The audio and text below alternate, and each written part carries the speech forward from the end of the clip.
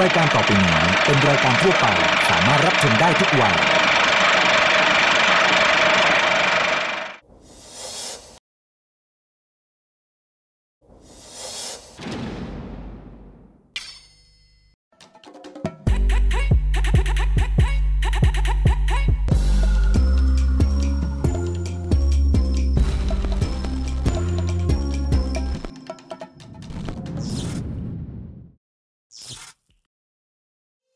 นับสนุนโดยผลิตภัณฑ์ผลไม้ฟรุตเบรดและน้ำเชื่อมแต่งกลิ่นตราเนเจอร์เทส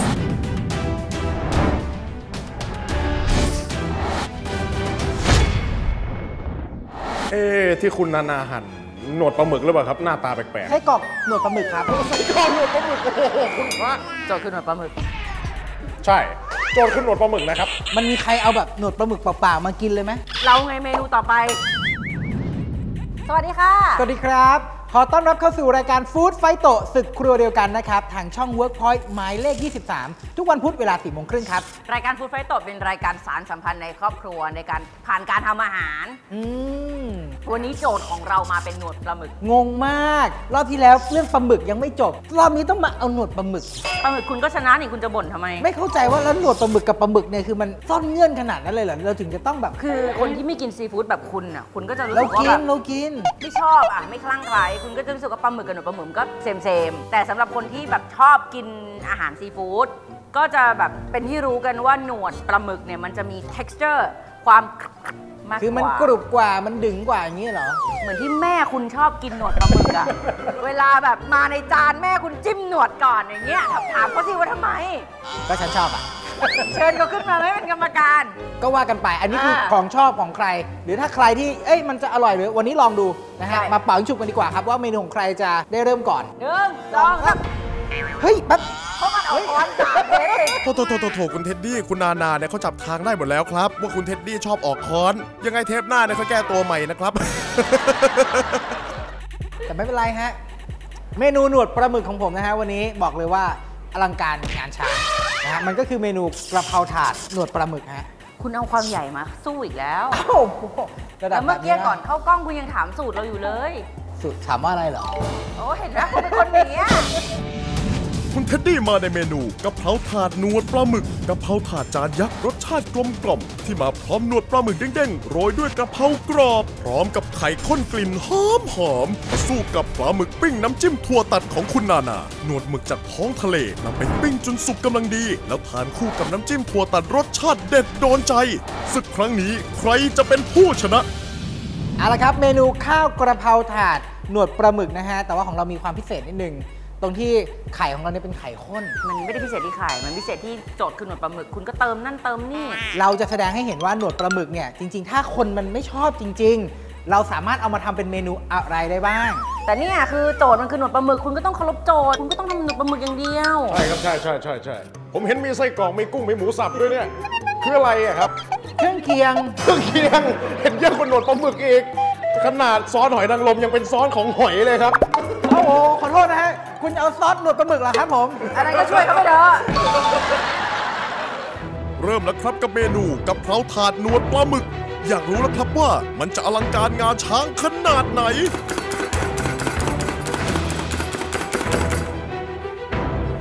พอไหมคุณ ตามความรู้สึกนะฮะ เราอะชอบกะเพราที่พริกหยาบๆหน่อย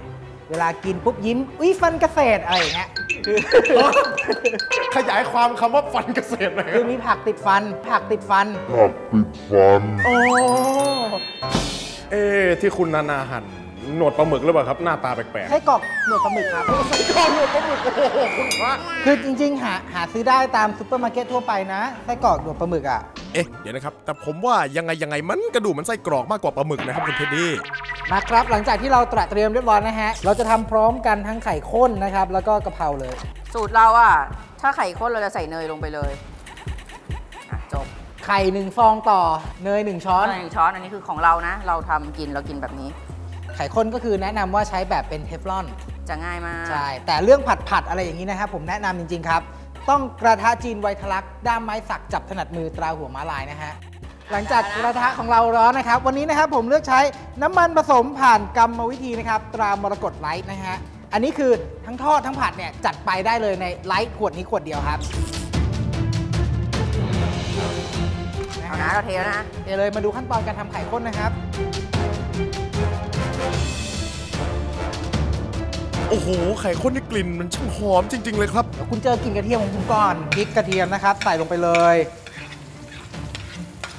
โอ้โหกระเทียมแล้วบัวแอบบัวกลินเนยเมื่อกี้หายไปแล้วจริง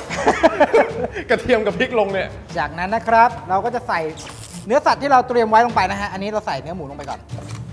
บีๆนิดนึงนะ ไม่งั้นหมูจะแบบโอ้โหชิ้นใหญ่โจทย์คือหนวดปลาหมึกอืมใช่ โจนขึ้นหนวดปลาหมึกนะครับ มันมีใครเอาแบบหนวดปลาหมึกเปล่าๆมากินเลยไหมมันเราไงเมนูต่อไป เจ๊ก็ยังเอาไปปรุงรสเอาไปทำอะไร มองซะว่าพวกนี้มันคือเครื่องปรุงรสบ้างสิไส้กรอกก่อนไส้กรอกหนวดปลาหมึก กุ้งและหนวดปลาหมึกพระเอกของเราในวันนี้ลงไปฮะไหนหนวดปลาหมึกเนี่ยมีอยู่หน่อยนึงอันแรกนะฮะอันนี้พวกซอสหอยนางรม อันนี้ซอสปรุงรส น้ำปลาก็ได้ซีอิ๊วก็ได้ หวานหวานๆนิดนึง น้ำตาลทรายใช่ไหมครับ ครับผมและสุดท้ายนะครับพริกไทยป่นครับอ้าวเรียบร้อย เดี๋ยวจะใส่ใบกะเพราลงไป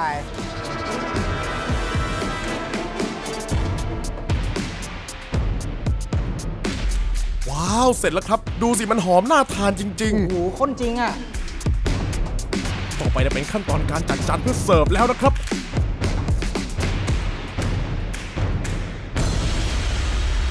สุดท้ายนะฮะ อันนี้กะเพรากรอบโปะข้างๆก็ได้ แล้วก็รับประทานคู่กับพริกน้ำปลา อันนี้คือกระเพราถาดหนวดปลาหมึกไข่ข้น และพริกน้ำปลาจีดจาดครับ เสร็จแล้วครับกับเมนูกับเพราถาดรวมมิตรเอ้ยกระเพราถาดหนวดปลาหมึกของคุณเท็ดดี้ที่มีส่วนผสมมากมายในจานนี้ โดยเลือกใช้หนวดปลาหมึกขนาดเบิ่มๆนำไปผัดจนสุกหอมกลิ่นใบกระเพราทานคู่ไข่ข้นเยิ้มๆราดบนข้าวสวยร้อนๆ เป็นเมนูที่เห็นได้ทั่วไป แต่รสชาตินั้นไม่ธรรมดา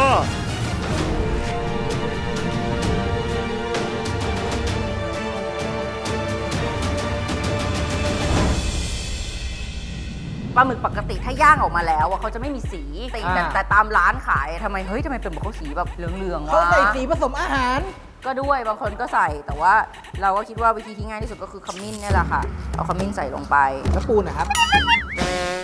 อู้ตาย ช่วงเลือกคุณค่า เลือกคุณภาพ เลือกตราข้าวทอง ที่รังสรรค์จากวัตถุดิบมากประโยชน์จากผลิตภัณฑ์ตราข้าวทอง กับเมนู peanut butter ขั้นแรกเทถั่วลิสงดิบลอกเปลือกตราข้าวทองลงในภาชนะ จากนั้นนำไปอบจนสุก ใส่ถั่วลิสงดิบลอกเปลือกตราข้าวทองอบสุกลงในโถปั่น ปั่นจนส่วนผสมละเอียด จากนั้นเติมเกลือป่นเสริมไอโอดีน น้ำมันพืชและน้ำผึ้งปั่นให้เข้ากัน จนส่วนผสมเนียนละเอียดเตรียมไว้ค่ะ ใส่ butter cake หั่นชิ้นเล็กลงในอ่างตี เติมเนยถั่วที่เตรียมไว้และนมข้นหวาน เปิดเครื่องแล้วตีจนส่วนผสมเป็นเนื้อเดียวกันแบ่งส่วนผสม 200 กรัมนำมารีดบนแผ่นพลาสติก ให้เป็นแผ่นสี่เหลี่ยมผืนผ้า ให้มีขนาดเท่ากันทำทั้งหมด 3 แผ่น จากนั้นนำเข้าแช่เย็นจนกระทั่งส่วนผสมทรงตัว เตรียมไว้ค่ะ วางเค้กแผ่นที่ 1 วางลงบนแผ่นรอง ทาด้วย white chocolate compound ละลายโรยด้วยถั่วลิสงดิบลอกเปลือกตราข้าวทองอบสุกสับหยาบประกบด้วยเค้กแผ่นที่ 2ทำเช่นเดียวกัน จนครบ 3 ชั้น แล้วนำเข้าแช่เย็นจนเนื้อเค้กทรงตัวดี ตัด peanut butter เป็นชิ้นสี่เหลี่ยม จากนั้นเคลือบด้วย white chocolate compound ละลาย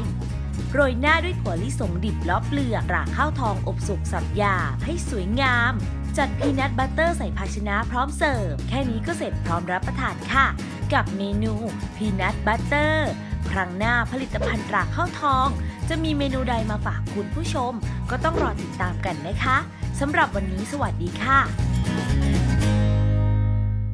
ช่วงอร่อยโดนใจกับมินทนา วันนี้เรามีบราวนี่นมมาฝากกันค่ะ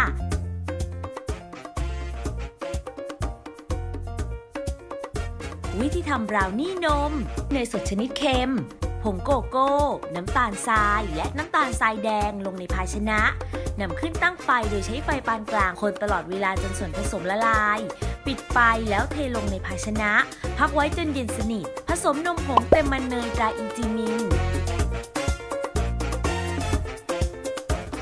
าลีอเนกประสงค์ baking soda และเกลือป่นเสริมไอโอดีนเข้าด้วยกัน